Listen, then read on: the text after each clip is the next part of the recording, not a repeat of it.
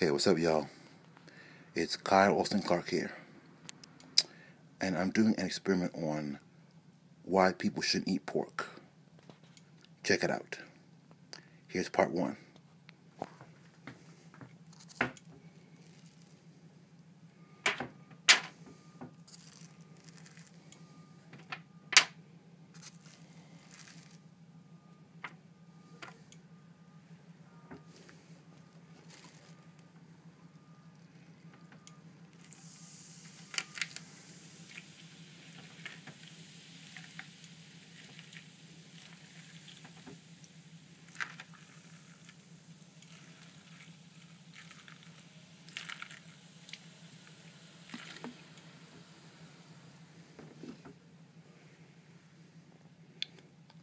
I've added the Coke.